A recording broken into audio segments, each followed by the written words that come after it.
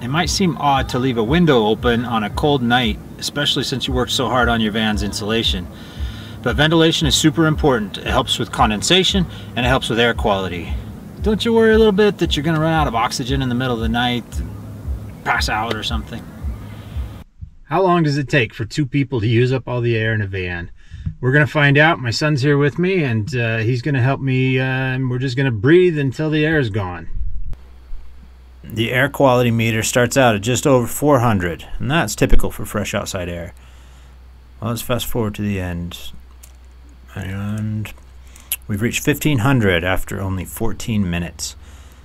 The meter's not only indicating port, but it's also flashing a warning sign that we need new air. So let's take a look at the cool ways other people have designed their ventilation systems, and then I'll show you what I'm thinking, which I haven't actually seen anyone else do. Cheap solution is to just crack your windows a bit and install a rain guard. It has a lot of drawbacks, but it's better than nothing. I followed this guy's example and made these large vents out of gutter covers, screen, and tape. They kept mosquitoes out, but I still didn't get enough airflow. Also, with these in, I couldn't use the reflective window covers I'd made. So that meant I wasn't stealthy and also that the sunlight would wake me up too early in the morning. Adding a fan like this would help a lot with the airflow, but not with the stealth. This guy made a slim, custom snorkel system that pulls in air without letting any light in or out. Rooftop fans are common and work well, but they aren't stealthy, and they also involve cutting a hole in the top of your van, which is pretty destructive if you ever want to sell it. A floor vent like this one is also destructive, but it is stealthy. One last fun idea is to take advantage of your sunroof if you have one.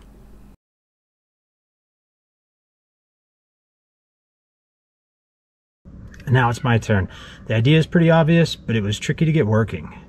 I just want to use the van's ventilation system with it turned on fresh air instead of recycle. The challenge is getting it to run without running all the car's electrical systems. Um, and I also don't want to risk uh, killing the battery, so wake up with a dead battery in the morning. Fresh air enters the vehicle under the hood right along here. There's already protection from bugs and water. I don't actually know where it exits the vehicle. Actually, let's find out. Here I've got a Halloween smoke generator. The smoke machine has a remote control.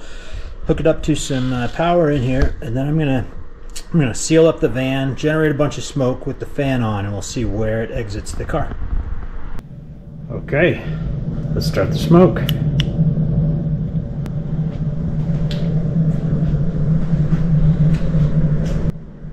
Hey, I see it, I see it, I see it. I don't know where it's coming from, but it comes out the back.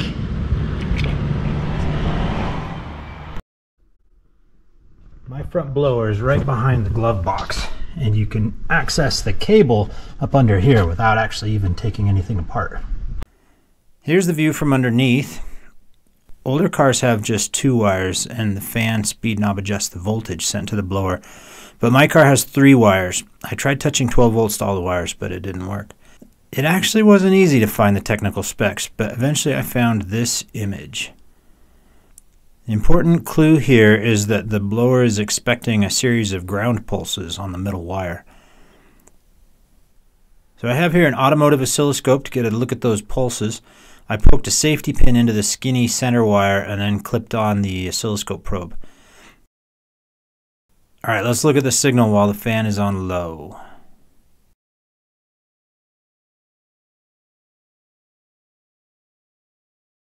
In the screenshot, you can see it takes 2 milliseconds for the pulse to cycle up and down. So that equates to 500 hertz. But it turns out the frequency doesn't really matter. What matters is the fraction of, of each cycle that the signal spends in the low state down on the bottom. I'll turn the fan up full blast so you can see. Now most of the time is spent on the bottom. The cool thing is the peak to peak voltage is 5 volts, which is very common. It means the signal is going to be easy to replicate. So the first part we need is a square wave signal generator. I got this one on Amazon for only $13, and really this is the only part you need for this project. For input, it can be powered by anywhere from 3 to 30 volts, and it outputs a 5 volt pulse just like we need. I don't want to drain my car battery, and I have a ton of Ryobi batteries in my shop. So I bought this adapter. It connects to my 18 volt battery, and then it has this step down converter, so the final output is 12 volts, just like my blower expects. And if I need more power, I also bought this adapter, which is for the big 40 volt batteries, and it also has a step down converter to output 12 volts. These connectors are nice, so I won't have to solder any wires. Finally, I don't want to cut any wires on my car, so I looked all over and I found this wiring harness on eBay for my specific blower motor. I'll just disconnect the existing harness and plug this one in each time I use this stuff. Let's put it all together. First, we'll connect all four negative wires. There's the battery negative, the signal generator V negative terminal, the ground for the output from the pulse width modulator,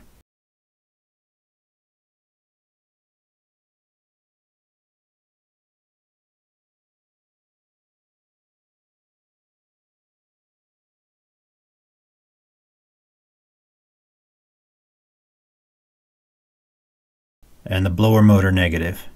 Now, my wiring harness uses black for positive and yellow for negative, which is goofy. I guess they're copying the Toyota harness, which has black for positive and ground is white with a black stripe. None of it makes sense, so just use the voltmeter to make sure you get it right.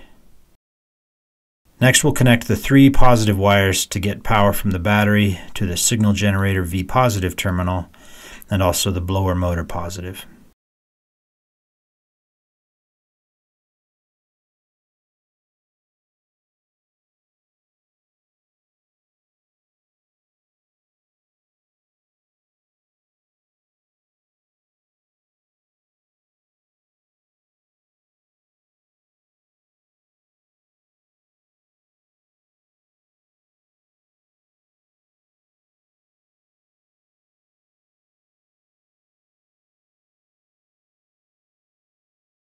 And finally, we'll connect the pulse output to the middle wire of the blower harness.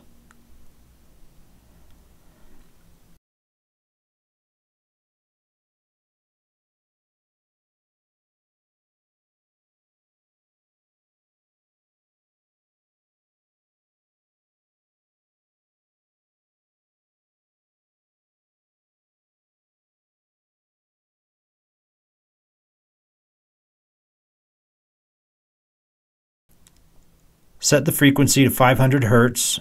Use the duty cycle buttons to adjust the fan speed. Unfortunately, the numbers won't work in reverse since duty cycle sets the width of the top of the pulse instead of the bottom like our blower wants.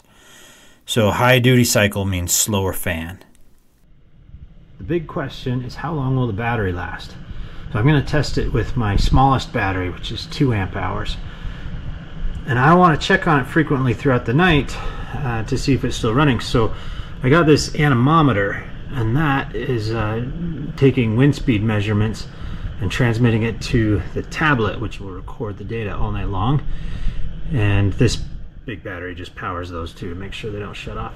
Now right before this I measured the wind speed coming out when the car is on and set to the lowest uh, the lowest blower speed, the lowest fan speed and it's 1.4 meters per second. So that's also what I have, as you can see on the tablet, that's also what I have the pulse width modulator set to. Uh, I got 1.4 meters per second by setting it to at 65%, uh, if you can read that. So let's let's start, uh, and I'll check uh, check the data in the morning. And the fan stayed on only 1 hour and 10 minutes before shutting off abruptly. That's a little disappointing, so let's try a bigger battery. We'll try one rated for almost 6 times as many watt hours as the little one. And here goes test number 2 with the 40 volt 6 amp hour battery. Okay, this time the fan ran for 7 hours and 15 minutes. That's pretty good, and of course I could get more time by setting the fan to an even slower speed. Out of curiosity, I measured the current draw at this test speed and got 2.6 amps. At the lowest possible setting, it was 0.3 amps. And at the highest setting, with the blower roaring, it drew 16 amps. That's a lot of amps. I guess because it's a big motor and it needs to pull the air through the cabin filter. Uh, for comparison, I found someone on Reddit measured the current draw of their Maxxfan. Wow, so the rooftop fan uses way less power. I guess that's why they're so popular. But for me, where I have extra batteries, my trips are short, my solution is perfect, and the main thing is that I'm going to sell my van one day, so I can't be cutting a hole in the roof. Anyway, thanks for watching. In my next video, I'm going to weld a 10 foot long spring-loaded sledgehammer. See you then.